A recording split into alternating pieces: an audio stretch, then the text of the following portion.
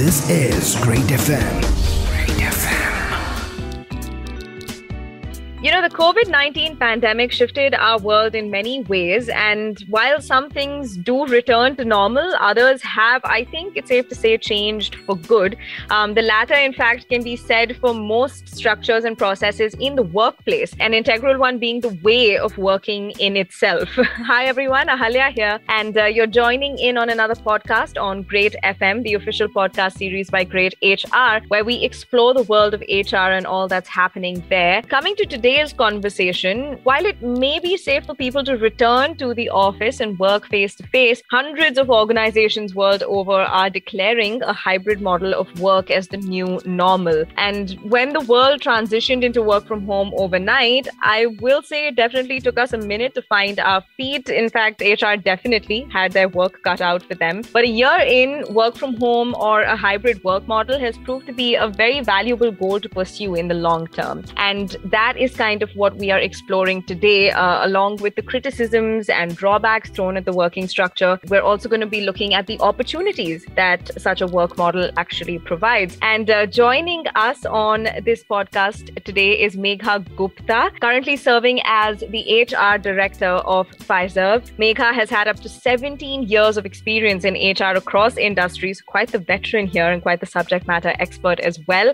She's also been recognized as HR leader by People Matters in 2016, as HR 40 Under 40 by Business World, and also most recently the Most Innovative Leader Award by the World HRD Congress. It's a pleasure to have you here, Megha. Thank you so much for joining us. I would say pleasure is all mine. Thank you so much for inviting me. And you know, in doing research for this podcast, Megha, I have to say the arguments or the conversation about this hybrid work model is probably the most controversial thing out there today. No one can seem to agree on whether it's a good thing or a bad thing, necessary or unnecessary. So I'd actually like to start today's conversation from there. Is the hybrid working model a solution? If people are posing it as a solution, is it a solution for organizations or employees? And as a lead off from that, like when provided as a solution, which group of people should it actually serve? It's a great question, uh, you know, and I'll go back,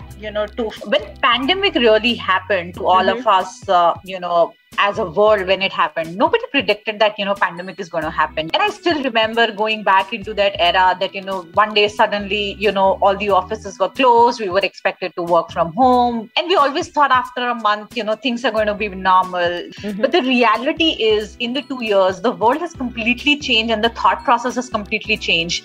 And you know after 2 years it's no more about i would say organization thinking about oh uh, you know should we be remotely working? Should it be hybrid? Mm-hmm. but i think it's high time when we need to start thinking about what suits for our talent that we hire. Mm. Is talent okay to, you know, completely work out of five days or, you know, is it okay to, you know, have a very, very flexible approach towards it?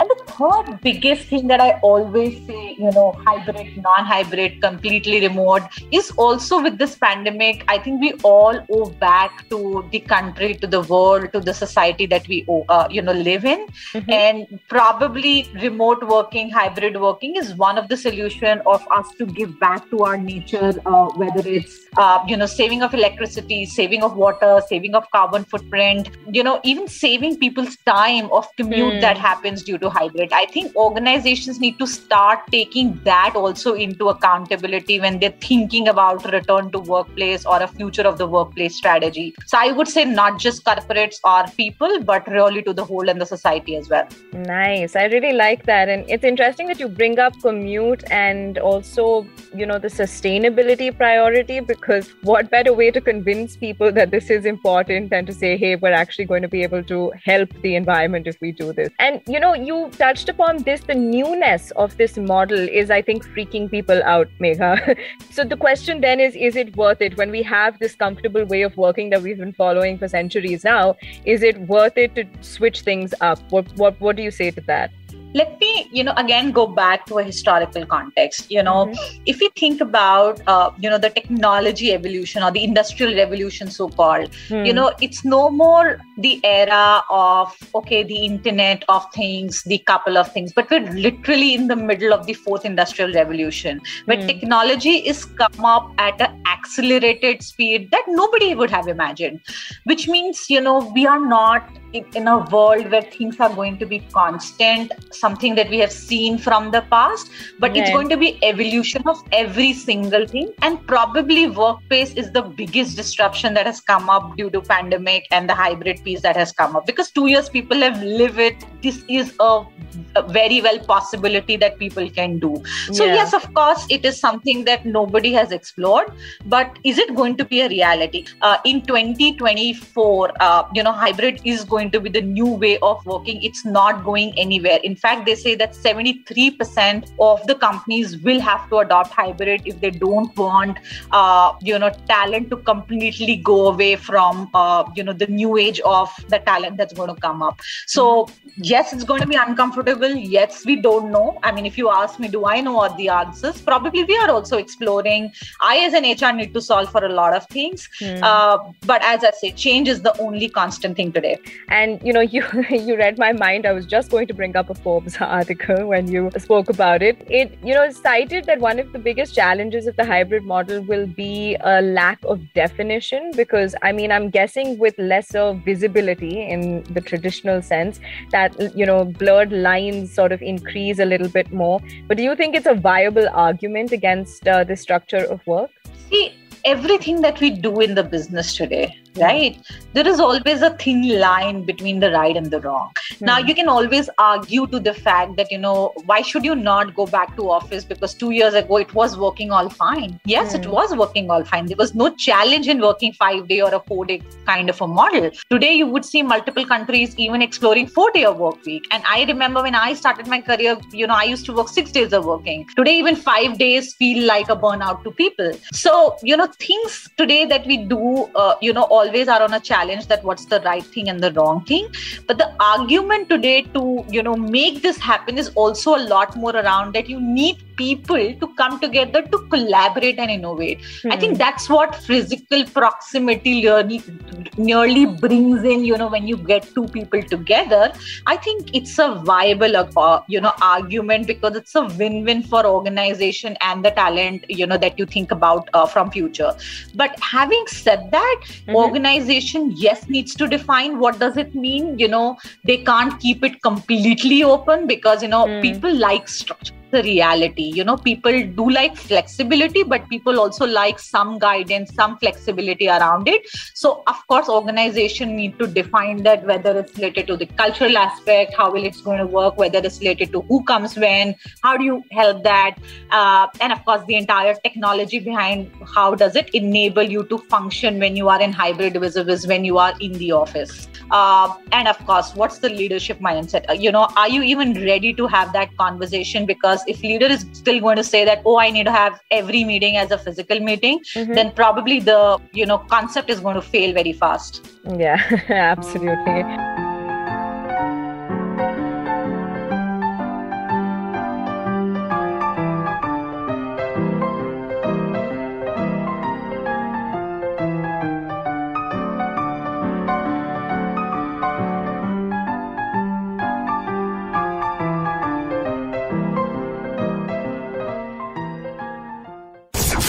You're listening to greytFM.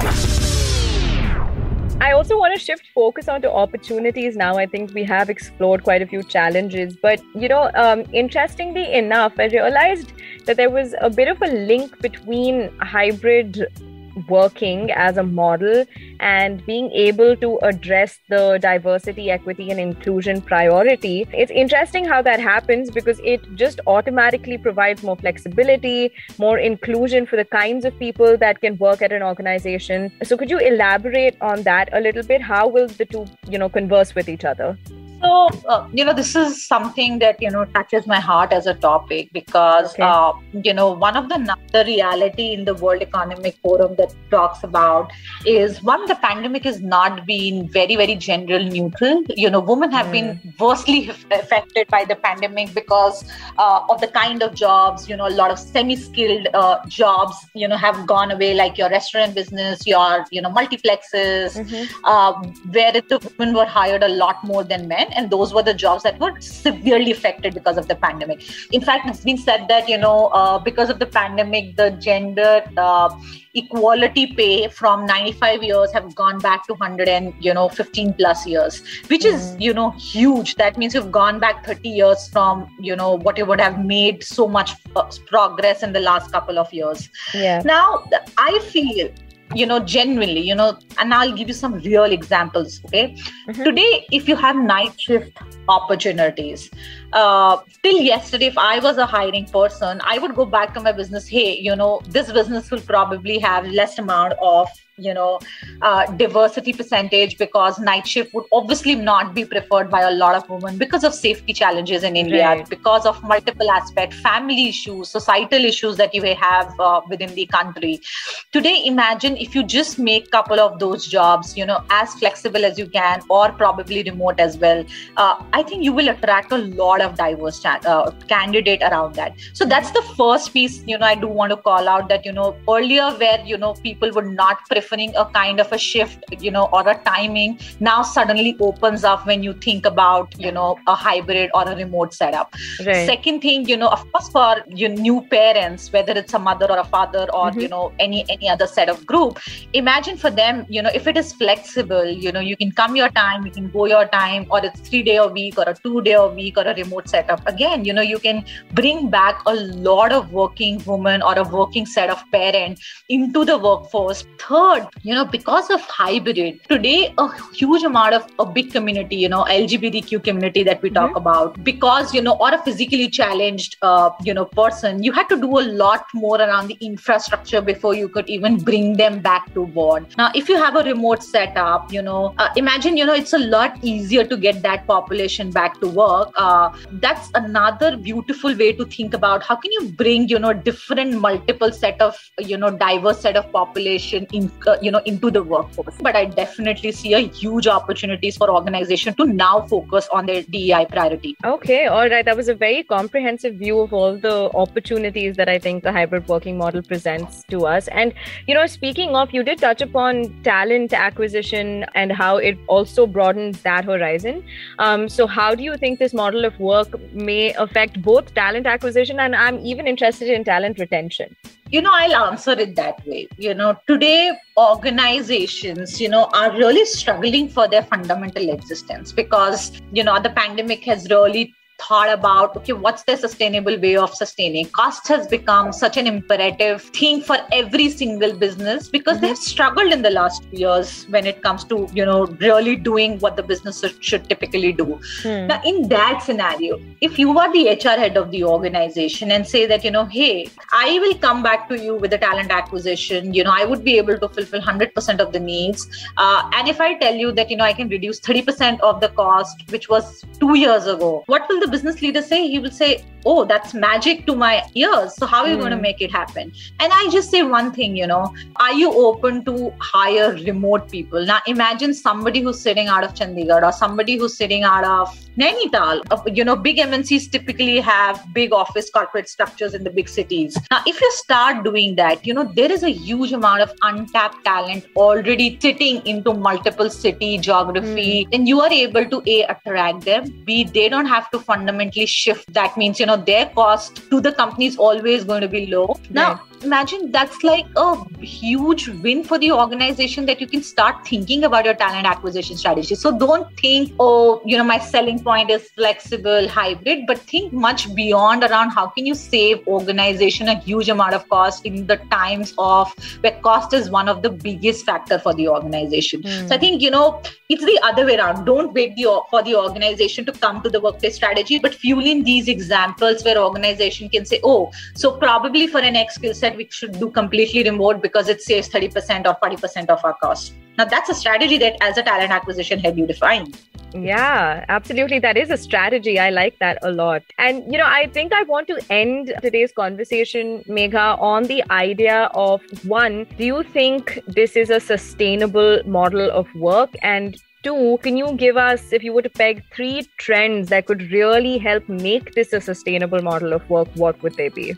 So, uh, you know when I, when you say is it a sustainable model? I would say last 2 years we all have been remotely working. We all the whole yeah. world was. Mm-hmm. and if even after 2 years we ask that you know is work from home possible? I think we're fooling ourselves you know. It just shows that you know in the change curve we're still you know really back towards saying uh, i don't want to change. I think it's just that.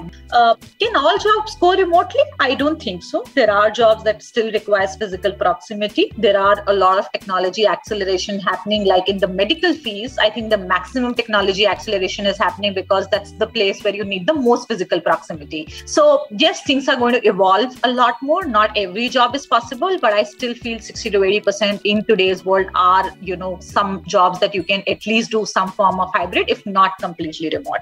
The second part of your question uh, was around the three best practices. Now, I think the first you know piece that i would say if you're defining your workplace you know strategy mm-hmm. uh, listen to what your people are saying you know. Gone are the days where leadership used to sit together and you know decide that okay this is what i want to do from tomorrow. This is the policy that i want to create.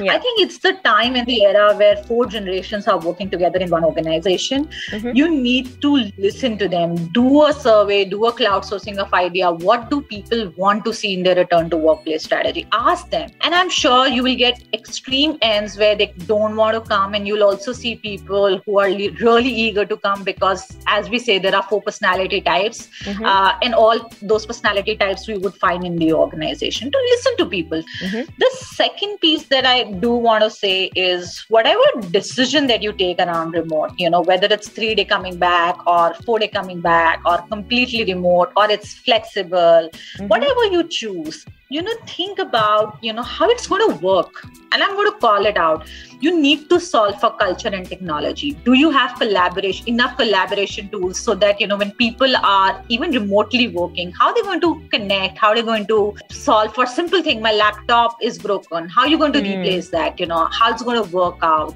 Uh, i think you need to fix the broken chain around the technology and the culture. Now imagine a people manager that you hired. You always hired a manager or a leader in the location where teams used to sit. Mm-hmm. Now, nobody trained them to manage a virtual and a hybrid team. Set competencies. Think about how you're going to train the leaders and the manager, and you know, talk about the mindset that tomorrow, if the team is going to sit in the Goa and just being going to there, uh, how you're going to manage that team and still get the productivity out of that. So there is right. a huge piece on the culture that you know, uh, you know, we need to all come together and solve for. Nobody yeah. have the answers, but you need to define that. Right. And the last piece if you are doing some form of hybrid or return to workplace mm-hmm. You know remember you're dealing with people you know people you suddenly went into work from home and two years they're working from home huh. uh, while things are back to normal but not everything is back to normal still people have lost a lot of their you know partners especially when you are in india we know that you know how many deaths really happened in the covid so things have not really exactly the same what it was two years ago yep. so be kind be genuinely empathetic and i would always always say be slow and flexible you know mm. it's hmm. not about oh from tomorrow everybody is supposed to go back to xyz model like a three day working or a two day working you know be slow have a flexible and a gradual approach to return to workplace start with tranches of phases that all people will start start to come in, which means basis your survey that I said in the initial, you know, people who are genuinely willing, super excited to come back, make them yeah. come first start secondly people who are you know basis the roles you know who need to come. And then you know slowly and gradually you will see a lot more percentage of people will come in and be very very empathetic. As i said not everybody's situation is going to be same because two years they were remotely working. So you know be very very flexible with people and understand what they genuinely need during this time to be able to return back to workplace yeah, absolutely. I think the last point is one that we do tend to sort of slip up on. I think it always comes back down to the essence, which is if you have people who are working for your organization with your organization that are happy, then the organization is going to be healthy. And that is just always at the end of the story. Absolutely. Well, thank you so much, uh, Megha, for joining us on this edition of greytFM. It's really been great. Some very interesting perspectives have come up today, and I'm sure our listeners uh, will agree with that. So thank you. Thank you. This is Great FM.